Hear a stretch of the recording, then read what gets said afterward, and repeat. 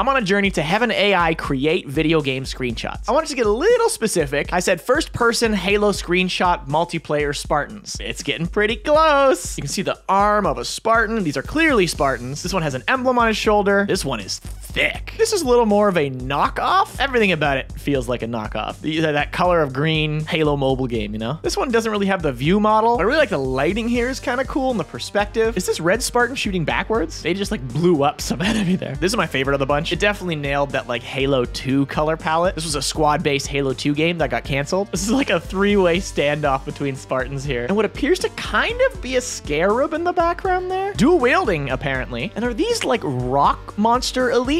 here. This is like a fan-made Halo game. Butterfly creature there. Got a three-legged something there. A little snowy here, beckoning back to Halo CE. Once again with the dual wielding. I think he just gets a little confused. And these are kind of elites. Subscribe for more.